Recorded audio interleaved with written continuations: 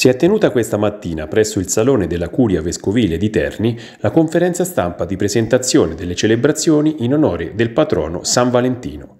Il tema di quest'anno, ha sottolineato il vescovo Monsignor Francesco Antonio Soddu, è dall'amore alla vita alla pace, per ribadire il legame fra questi sentimenti e rafforzare il messaggio di San Valentino. Il programma, come hanno ribadito tutti gli intervenuti, è stato realizzato grazie ad un profondo lavoro di sinergia fra diocesi, istituzioni, parrocchie e associazioni.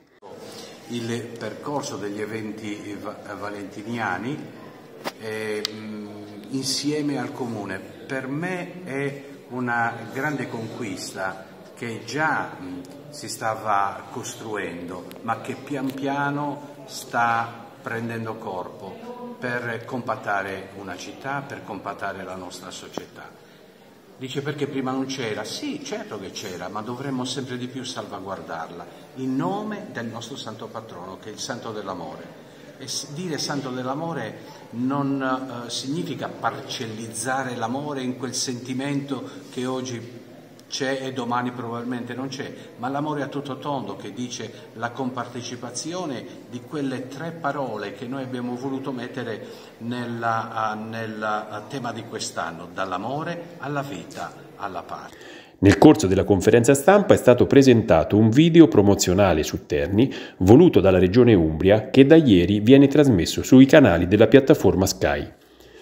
Oltre al vescovo hanno partecipato alla presentazione il sindaco di Terni Leonardo Latini, l'assessore regionale alla cultura Paola Gabiti e l'assessore alla cultura del comune di Terni Maurizio Cecconelli.